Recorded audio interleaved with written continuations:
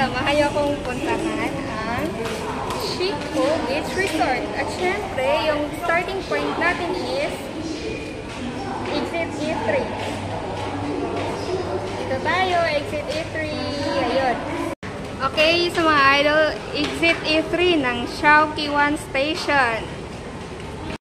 Okay, so sasakay lang kayo ng bus number 9 going to Shiko Beach Resort. So ito po.